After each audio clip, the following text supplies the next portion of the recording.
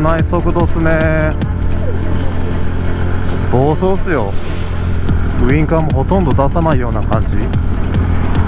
これみんな制限速度こう50でね安全に行ってるところを後ろのプリウスは左から暴走で危険な速度。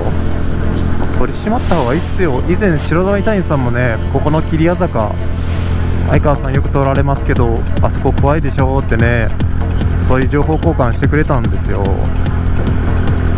今のプリウスさんはいつか事故しますよあれ。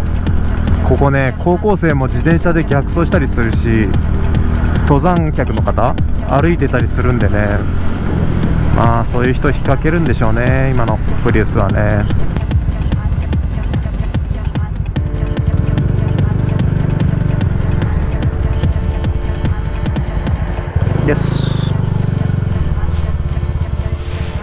お消防車が来たよ。交差する人気をつけて。交差危ないです。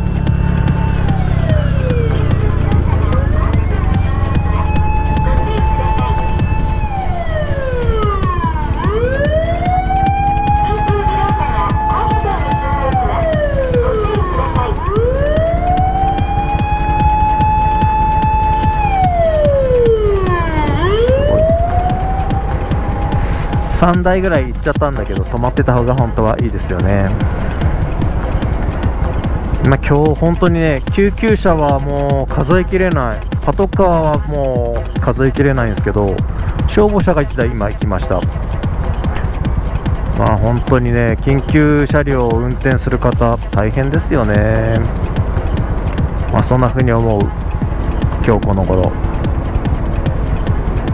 あ2台目。3台目来ます。もう止まってもう止まってサイレン聞こえてるでしょう。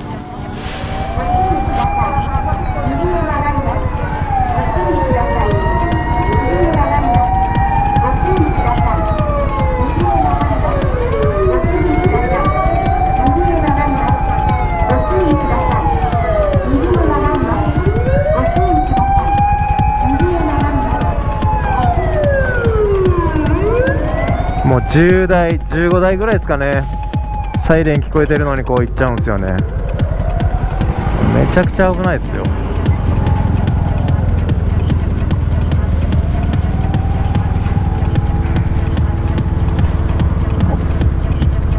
緊急車両が来るかもしれないと思って交差点入ればあんなに突っ切っていくことないと思うんですけどもね。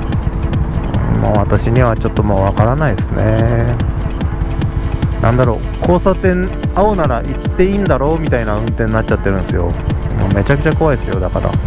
とにかく救急車の妨害だけはしないでください。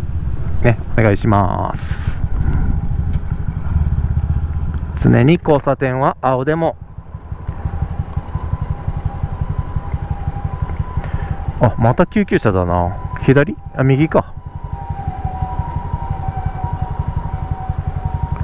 なんか今日救急車多いんだけども大丈夫か？心配になってくるね。いや本当にね救急車の妨害絶対ダメよ。命運んでます。ねあなたのご家族を運んでる可能性だってあるわけですから本当に気をつけてください。